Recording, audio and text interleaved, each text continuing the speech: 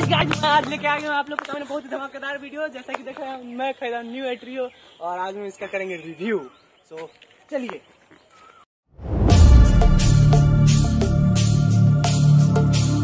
Hello friends तो स्वागत है हमारे न्यू ब्लॉग में। और आज आज काफ़ी टाइम के बाद मैं नया ब्लॉग लेके आया हूँ तो सो सॉरी कि मैं इतने दिन से गायब था। कुछ प्रॉब्लम चल रही थी इसलिए। और मैं आप लोगों को एक न्यूज़ नहीं दिया कि मैंने एक न्यू इलेक्ट्रिक व्हीकल लिया है एट्रियो ये है। और आज मैं इसका रिव्यू करने जा रहा हूँ आप लोगों के सामने। तो आज आप लोगों को पता चला जाएगा कि मेरा बाइक यानी इलेक्ट्रॉनिक व्हीकल कैसा है। तो चलिए, शुरू करते हैं।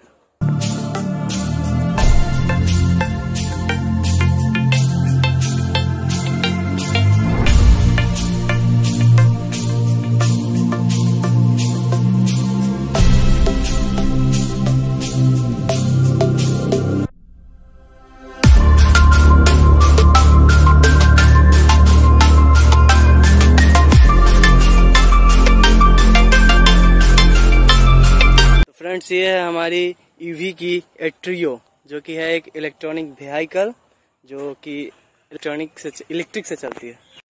यह है हमारी ईवी की की और यहाँ पे आप देख रहे हैं काफ़ी बहुत ही अच्छा डिज़ाइन किया गया है इसको। काफ़ी सुंदर डिज़ाइन है इसका, और यहाँ पे एक ईवी का लोगो लगा हुआ है। और इसके साथ एक आता है, इसके साथ रिमोट और ये जैसा कि आप देख रहे हैं रिमोट और ये फ़र्स्ट से, जो कि लॉक होता है, इसे डबल प्रेस करने से गाड़ी लॉक हो गई। सिंगल प्रेस पे भी गाड़ी लॉक हो जाती है डबल प्रेस पे भी गाड़ी लॉक।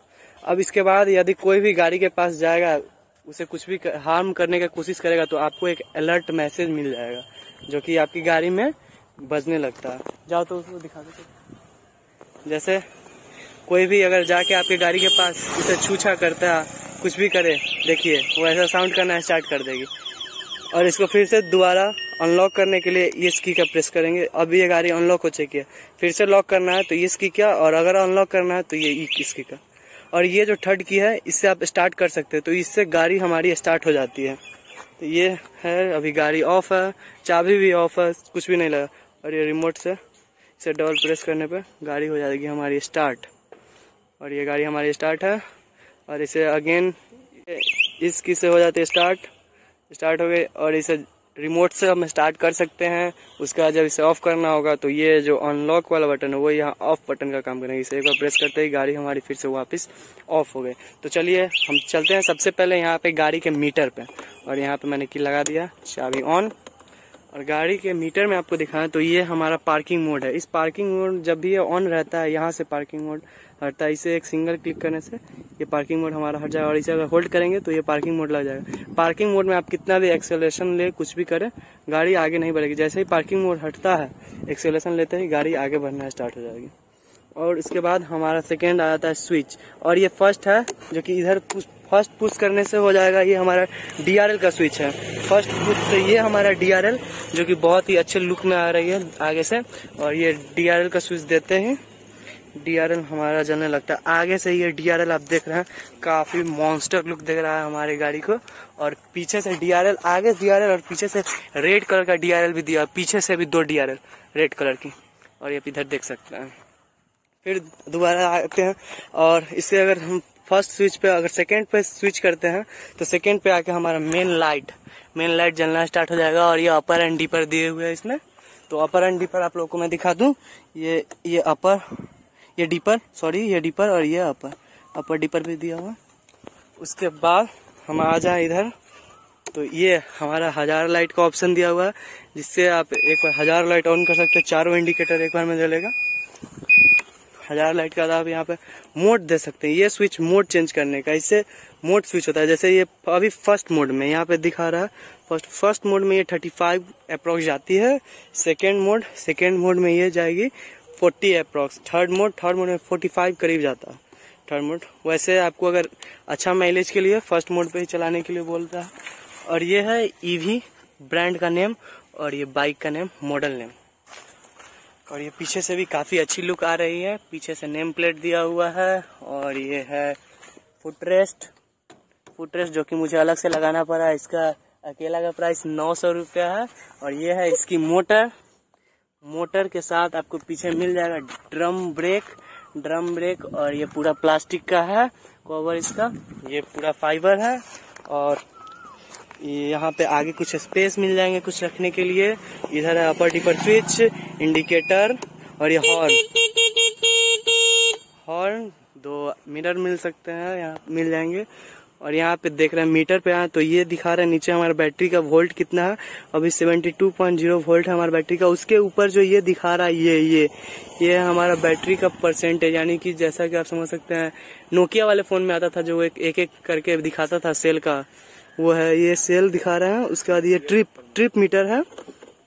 जैसे ही हम गाड़ी को ऑफ़ करके ऑन करते हैं यहाँ पे इसका ओडोमीटर दिखता है, जो कि हमारा 519 किलोमीटर गाड़ी चल चुका है, और ये हटाते ही पार्किंग से ये स्विच हो जाता है ट्रिप मीटर में।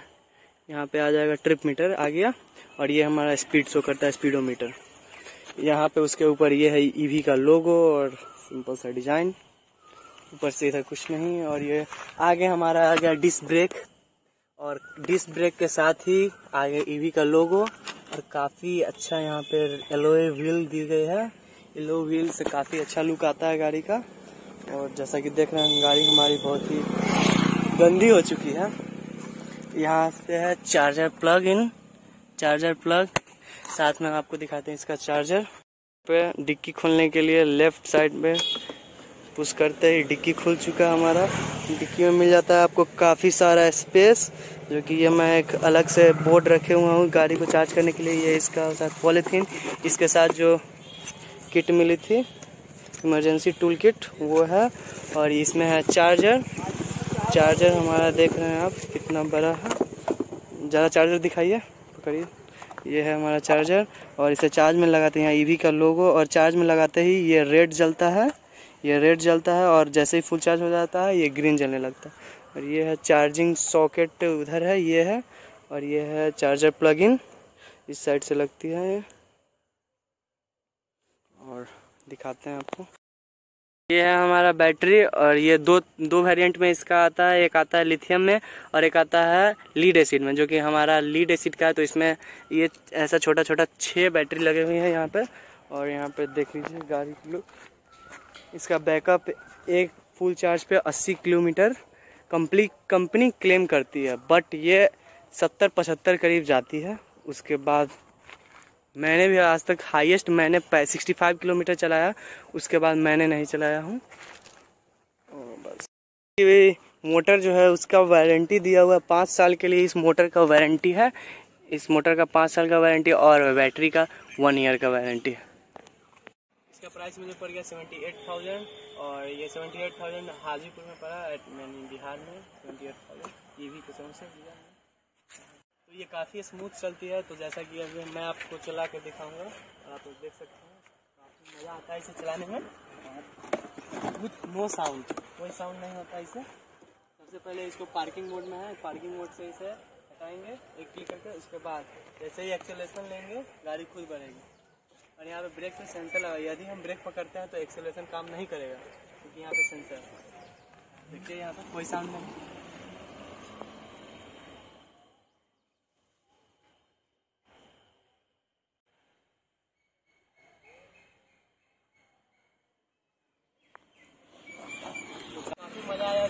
बहुत मज़ा आता है इसे चलाने में।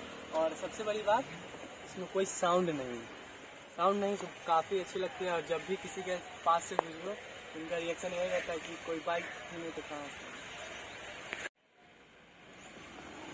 एक और बात मैं बता दूँ आपको, इसमें कोई भी रजिस्ट्रेशन का झमेला नहीं, कोई भी नंबर नहीं, कोई भी हेलमेट नहीं। लेकिन अपने सेफ्टी के लिए हेलमेट ज़रूर इसे चार्ज करने में हमारा वही करीब पाँच से छः घंटे लग जाते हैं फुल चार्ज होने में। उसके बाद मतलब रात को लगा दीजिए, पूरा दिन आप घूमिए। पाँच से छः घंटा चार्ज करके आप अस्सी किलोमीटर आराम से, यानी अस्सी किलोमीटर कंप्लीट क्लेम करती है बट ये सत्तर अप्रॉक्स जाती है। तो काफ़ी है इतना, मेरे लिए तो काफ़ी है। और तो यहाँ पे सिक्स आवर की चार्जिंग के बाद इसमें ऑटो कैट फीचर दिया जाता है तो आप कभी भी मतलब आराम से चार्ज में लगाकर छोड़ सकते हैं। जब ये फुल चार्ज खुद से यहाँ पे मशीन उसका ऑटो कट ले लेता है। तो इसके लिए हमें कोई चिंता वाली बात नहीं है। और उसके बाद इसमें एमसीबी स्विच भी आती है। अगर आपको कभी कुछ भी गड़बड़ी लगे तो एमसीबी गिरा दीजिए या फिर ये खुद से एमसीबी गिर जाती है। अगर शॉर्ट सर्किट हुआ तो तो तब तक के लिए इतना ही। बने रहिए हमारे चैनल पे कैप्चर तो इस वीडियो में इतना ही। तब तक के लिए बने रहिए हमारे चैनल के पी कैप्चर्स पे। चैनल को सब्सक्राइब कीजिए। वीडियो को लाइक कीजिए, ज़्यादा से ज़्यादा शेयर कीजिए। मिलते हैं नेक्स्ट वीडियो में।